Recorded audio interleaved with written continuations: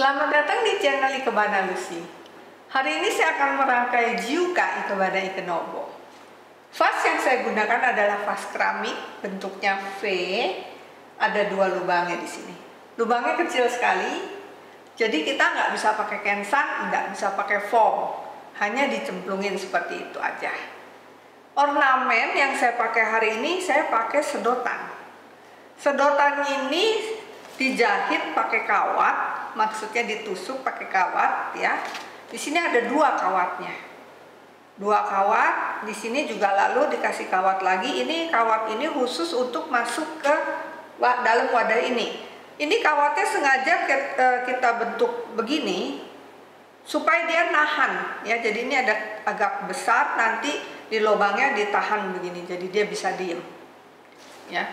Uh, sedotannya ini ada tiga warna di sini ya. Nah, jadi ini dia ini diem karena kawatnya ada yang lebih lebar di sini, dia nahan gitu dia bisa diam. Ya, kita coba taruh. Yang satunya di sini. Jadi ini kan lebar begitu, dia kita jepit begitu dia nahan. tapi memang harus kita atur-atur posisinya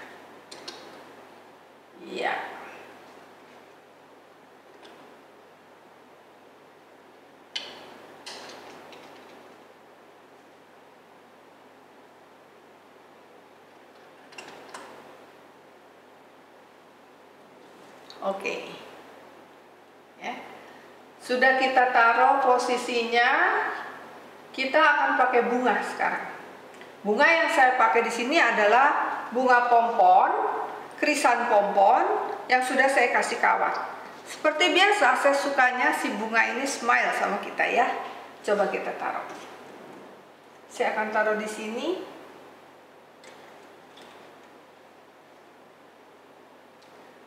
Karena dia udah ditekuk, jadi dia hanya nahan begitu aja.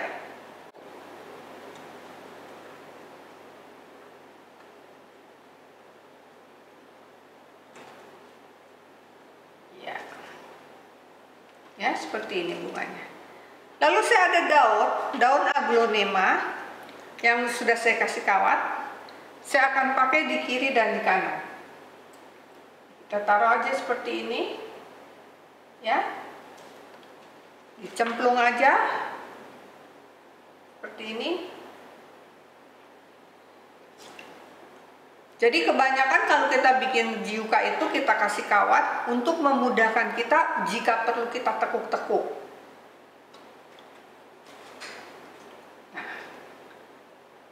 Karena dia udah padat, ditaruh dia diem. Ya, seperti ini. Mudah ya. Lalu saya ada bunga krisan. Saya akan pasang di sini. Bunganya hari ini saya pakai di sebelah aja. Saya mau dia asimetris Sini juga saya kasih bunga krisan yang ngintip-ngintip aja di situ. Lalu saya ada carnation spray ya, carnation spraynya cantik sekali. Yang warnanya ini matching dengan daunnya, daunnya di pinggirnya ada merahnya juga itu, cantik sekali. Ya, kita taruh dia di sini.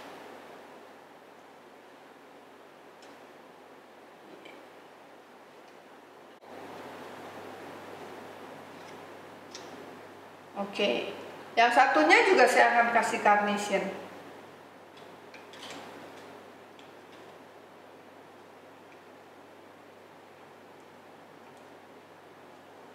Ya. Lalu seperti biasa saya akan kasih asirainya. Saya punya bunga kecil-kecil putih di sini.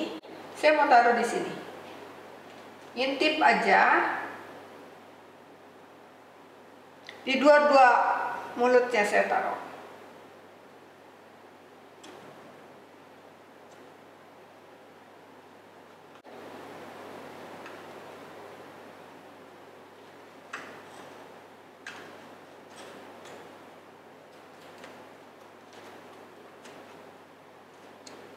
Oke. Inspirasinya ini dari apa? Ini seperti saya anggap seperti bendera ya.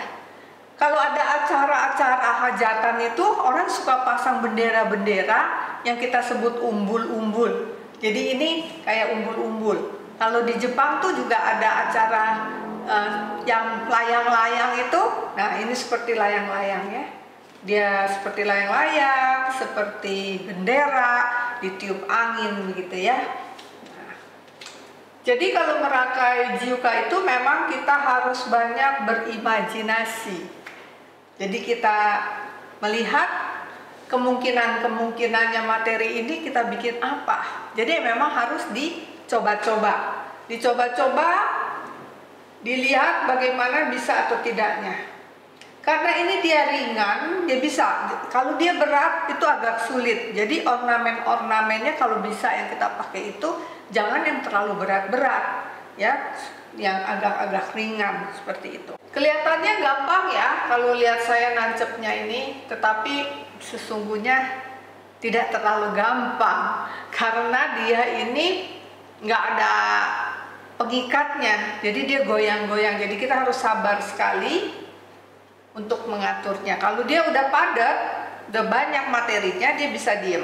Tapi tetap dia bisa goyang, sehingga rangkaian ini memang tidak untuk hmm, hantaran ya. Kalau di hantaran itu dibawa-bawa, ininya rangkaian kita bisa berantakan. Nah, nanti juga kalau saya mau foto, saya pindahkan ke studio, itu akan bergeser, bergoyang. Makanya kadang-kadang hasil saya demo dengan hasil foto bisa sedikit-sedikit berubah. Jadi harap dimaklumkan, ya. Memang wadah-wadah Ikenobo itu itu unik-unik sekali untuk kelas yang agak advance terutama memang kebanyakan wadahnya mulutnya tuh kecil. Mulutnya kecil itu sehingga kita memang dipaksa tidak memakai banyak bahan. Kalau kita pakai banyak bahan, akhirnya rangkaian kita menjadi gemuk ya, menjadi eh, apa namanya hmm, lainnya kadang-kadang suka hilang. Maka itu mulutnya agak kecil-kecil tapi memang ini untuk uh, pembelajaran kelas yang agak advance. Kalau untuk yang agak pemula kita memang memakai wadah yang mulutnya agak lebar itu lebih gampang kita pakai kensan. Ya. Nah, jadi ini rangkaian imajinasi uh, bentuknya seperti layang-layang atau seperti bendera memakai sedotan plastik Ya, sedotan plastik ini yang sudah dikasih kawat sehingga dia bisa dilengkung-lengkungin seperti itu ya. Kalau dilihat dari samping seperti ini. Memang kalau lihat dari belakang dia tidak cantik tentu saja ya. Tetap ada dimensinya. Saya taruh uh, ornamennya itu tidak satu sejajar. Jadi ada yang di belakang, ada yang di depan. Daunnya juga begitu. Ada yang di depan. Di sini daunnya memang sengaja kita tutup pin mekanik kawatnya ini supaya tidak kelihatan dari depan. Itu harus kita pikirkan juga. Waktu kita tancap rangkaian itu bunga-bunga itu, kita itu sudah harus pikir juga bagaimana kita menutup uh, mekanik-mekaniknya itu. Ya. Jadi ini siluetnya asimetris ya. Memang di sini lebih berat, di sini lebih ringan. Ya, jadi kita sebut di sini asimetris balance ya. Jadi ini rangkaiannya asimetris, bunganya juga hanya di satu tempat aja, di sini hanya sebagai pelengkapnya. Teman-teman kalau suka dengan channel saya, silahkan di like, share, dan di subscribe. Terima kasih, sampai jumpa.